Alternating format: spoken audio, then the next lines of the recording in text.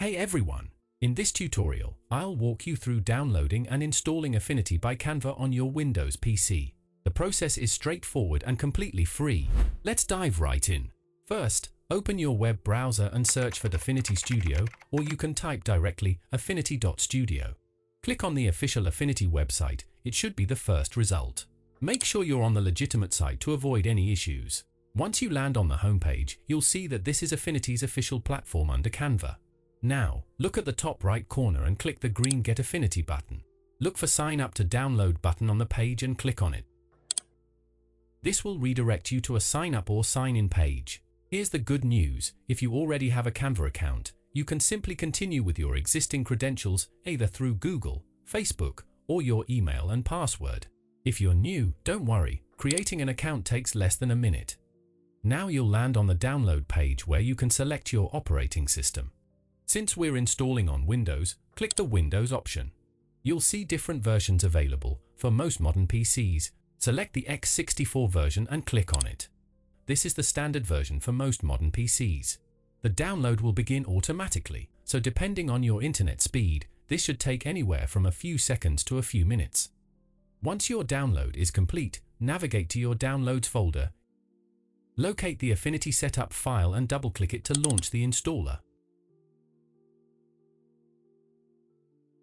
When the installer opens, keep the default installation location unless you have a specific preference, and then click Install and the setup will begin extracting and installing all the necessary files. You'll see a shortcut appear on your desktop. Once you see installation complete, click Close. Now, head to your desktop. Right-click and open Affinity. As you can see, it is Affinity by Canva. Affinity will prompt you to log in to activate your account. Sign in using the same method you used earlier. I'll use my Google account. Your browser will open with a Canva authorization page. Click Continue to authorize the connection. After signing in, click Open Affinity.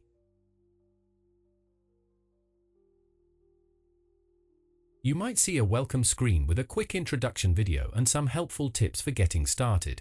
Feel free to watch it if you're new to Affinity or click to skip if you want to jump straight in. You may also be asked about sharing usage data, select your preference and click Continue. The final screen will give you two options, Start Creating or Watch Tutorial. If you're familiar with design software, go ahead and click Start Creating. If you're completely new, the tutorial is worth watching. And here we are inside Affinity you'll see a clean, professional interface with several options.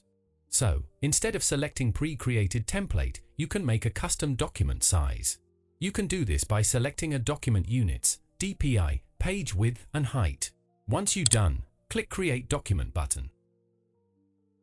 And just like that, you're ready to start designing. You can now create stunning vector designs, edit photos professionally, and build complex layouts without spending a dime.